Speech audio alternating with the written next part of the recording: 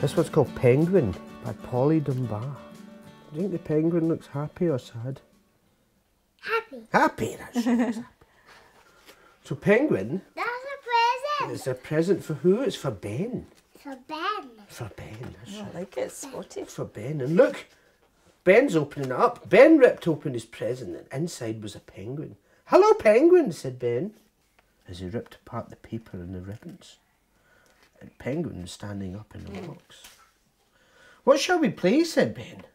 And Penguin said nothing. Can't you talk? said Ben. And Penguin still said nothing. He just sat there looking at Ben. Penguin. Ben tickled Penguin. Penguin didn't laugh. Ben pulled his funniest face for Penguin, but Penguin still didn't laugh. And Ben put on a happy hat. I love the hat. And sang a silly song and did a dizzy dance. But Penguin said nothing at all. Will you talk to me if I stand on my head? said Ben. Look, he's standing on his head. I like that bit. I like that bit too. Can you stand on your head? Right, let's let's keep going. So Penguin didn't say a word. He looked, in fact, he didn't look impressed at all, did he? So Ben prodded Penguin and blew raspberry at Penguin, and Penguin said nothing. Ben made fun of Penguin. Where is that raspberry? There, down here, sticking his tongue out, going, and imitated Penguin, and Penguin said nothing. ben ignored Penguin, Who did this? and Penguin ignored Ben. They'd had enough. So Ben fired Penguin into outer space, and Penguin came back to Earth without a word. Bang! That. It's on a rocket.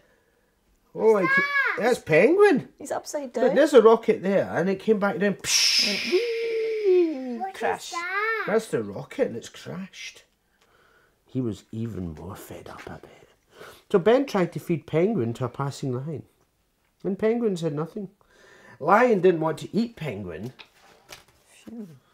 Ben got very upset. He started jumping up and down and pulling his hair and crying and screaming, and Penguin said nothing. Say something, said Ben. Say something. and the blue lion and the penguin, they looked a bit fed up. So Lion ate Ben for being too noisy.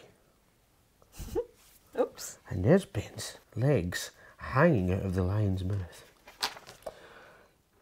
And Penguin looked a bit odd, and the lion was licking his paws after enjoying his meal. I can't believe that lion ate Ben. What do you think? Was that a bit naughty? Yeah. It was a bit naughty. But Penguin bit Lion very hard on the nose. Ow, said the lion. Wow, said Ben as he shot out the lion's mouth.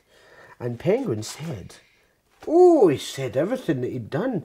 He'd said he was in a present, and Ben had got him out, and Ben held him, and Ben had put a hat on, and then Ben had sent him up to a rocket up to the moon. And then the lion came, and Ben was shouting, and then he ate Ben, and then Penguin bit Lion on the nose. But most of all, he said at the end that Ben loved Penguin, and Penguin loved Ben.